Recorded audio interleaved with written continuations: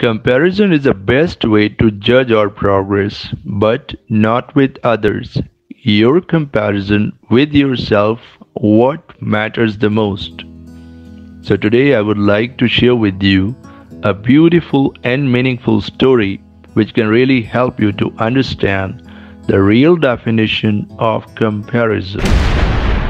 In the middle of the city there was a big garage in which a mechanic used to work and he was very good in his work. He was the number one mechanic in the city, but he was very arrogant. He used to think that what he does is great and what others are doing is of no value. One day, a heart surgeon came to his garage.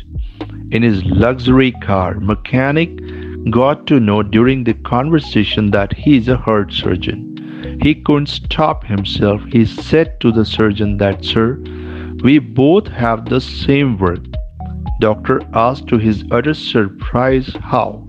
And then the mechanic replied that I repair the engine of the car and engine is the heart of the car.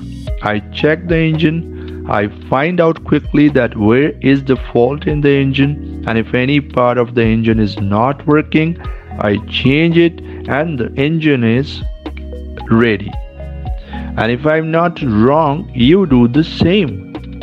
So I am the number one mechanic in the city and you are the number one surgeon in the city. Doctor replied, the heart surgeon replied, yes. Then the mechanic asked from a doctor that, Sir, tell me one thing.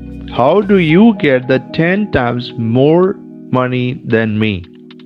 Although you are working, I am working, or work is same. You are doing the work like me. Doctor kept mum for a few seconds, then he replied smilingly that my dear friend, this is so simple. You are working when the engine is off. When the engine of the car is off, you are working.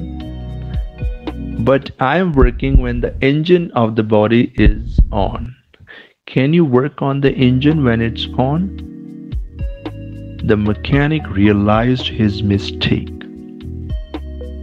Hi, my name is Manish Arora. I'm a life and business coach I would like to share with you the message which is hidden in this story, and the message is don't compare yourself to anyone. Your uniqueness is empowered, powerful, and unstoppable. Your uniqueness is what makes you uncomparable. Don't underestimate the beauty of just being you.